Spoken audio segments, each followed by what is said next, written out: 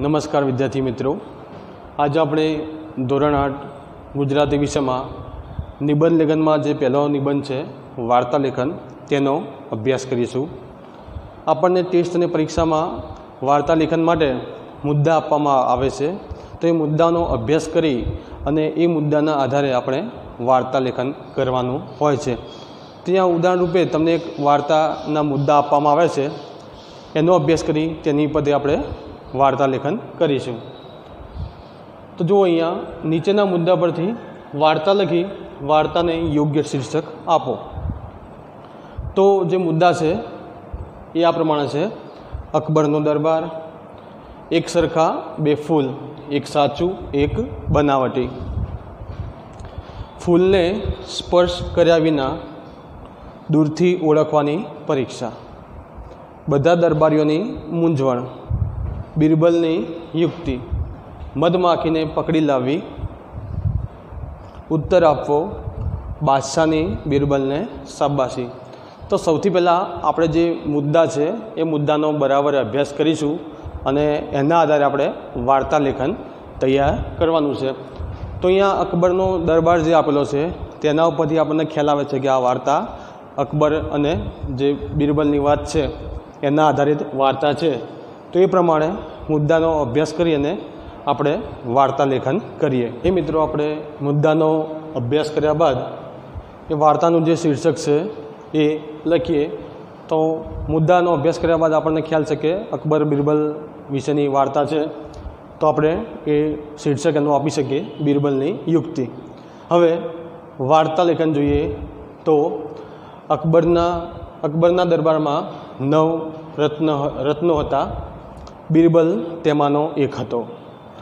બિરબલ કે જે હાજર જવાબી અને બુદ્ધિ ચાતુર્ય માટે એ જાણીતો હતો. અકબરના દરબારમાં દેશ વિદેશથી વિદ્વાનો આવતા. અકબર સૌને આદર આપતો. અકબરના દરબારમાં જ્ઞાન ગોષ્ઠી થતી અકબર પોતે પણ સાહિત્ય રસિક હતો. તે અવારનવાર બુદ્ધિ કસોટી ના, બુદ્ધિ કસોટી થાય તે પ્રકારના કોયડા દરબારમાં રજૂ કરતો. બધા દરબારીઓમાં માત્ર બિરબલ જ એક એવો વ્યક્તિ હતો કે જે એ જે અકબરે કોયડા પૂછ્યા હોય એનો ઉકેલ, સાચો ઉત્તર આપી શકતો. એ માટે એના કારણે અકબર એમને બિરબલ માટે ખૂબ ગર્વ હતો. તે બિરબલને અવારનવાર ઇનામ આપી અને તેની કદર કરતો. એક વખત અકબરનો દરબાર ભરાયેલો છે. ત્યાં એક ખૂણામાં બે ફૂલ મૂકેલા છે.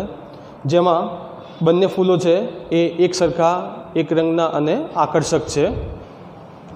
અને એ બંને ફૂલોમાં એક ફૂલ સાચું, એટલે કે કુદરતી અને જ્યારે બીજું છે, બનાવટી છે. અકબરે જે દરબાર, અકબર જે દરબાર ભરીને બેઠો છે, ત્યાં બધા દરબારીઓને સંબોધીને એમને કહ્યું કે સામે બંને ફૂલો જે મૂકેલા છે અથવા બંને ફૂલો છે, એને સ્પર્શ કર્યા વિના કયું ફૂલ કુદરતી અને કયું ફૂલ બનાવટી છે તે તમારે ઓળખી બતાવવાનું છે. તો એ સાંભળી અને જે બધા દરબારીઓ છે એ બધા વિચારમાં પડી ગયા કે બંને ફૂલો છે, એના જે રંગરૂપ છે એ બંને એક સરખા છે, બંને આકર્ષક છે. તો એમાંથી આપણે સાચું ફૂલ અને બનાવટી ફૂલ એ કેવી રીતે શોધવું અથવા ઓળખવું તે તેમને સૂચતું ન હતું. અકબરે બધા દરબારીઓ સામે જોયું પણ બધા મૂંઝવણમાં હતા. એટલે છેવટે એમની નજર બિરબલ તરફ ગઈ. તો બિરબલ સામે અકબરે જોયું ત્યારે બિરબલ પોતાના સ્થાનેથી ઊભા થઈને બહાર ગયા અને બહારથી એક મધમાખી પકડી લાવ્યા. મધમાખીને છૂટી મૂકતા તે ઉડીને એ બંનેમાંથી એક ફૂલ પર જઈને બેઠી. બિરબલે કહ્યું જહાંપના જે ફૂલ પર આ મધમાખી બેઠી છે, એ જ સાચું ફૂલ છે.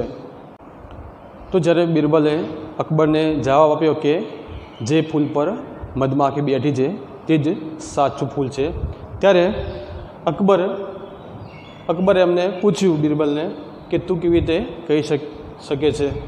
કે તને કેવી રીતે ખબર કે આ ફૂલ સાચું જ છે?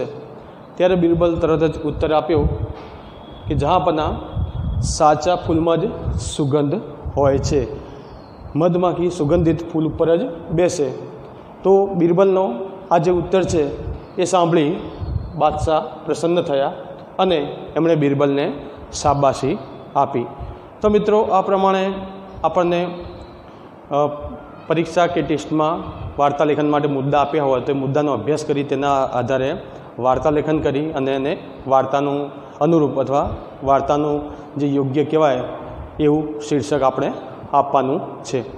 તો આ રીતે તમે, તમને જે મટિરિયલમાં સૂચવ્યું છે એ પ્રમાણે જે વાર્તા લેખન કરવાની છે, મુદ્દા આપેલા છે, એના આધારે તમારા નિબંધ નિબંધ લેખનની નોટમાં એ વાર્તા લેખન વ્યવસ્થિત રીતે લખશો.